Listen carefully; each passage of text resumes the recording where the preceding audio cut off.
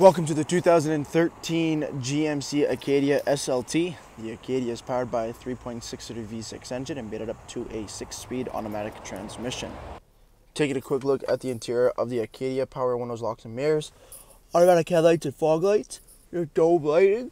You have a leather wrapped steering wheel with cruise control and audio controls. We have 135,867 kilometers currently on the odometer. Keyed ignition.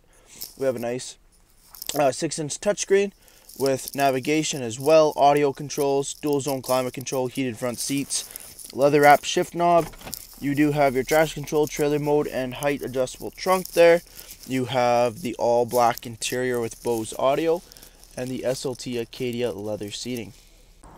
Taking a quick look at the exterior of the 2013 Acadia, we have the 19 inch wheel and tire package with the Goodyear Assurance winter tires, chrome accent door handles, SLT badging, Coming to the front of the Acadia, we have the LED daytime running lamps, the sea lights that are even still in the new 2022s. We have fog lights as well, SLT grille, color match front bumper coming down the side. We have rear tinted privacy windows.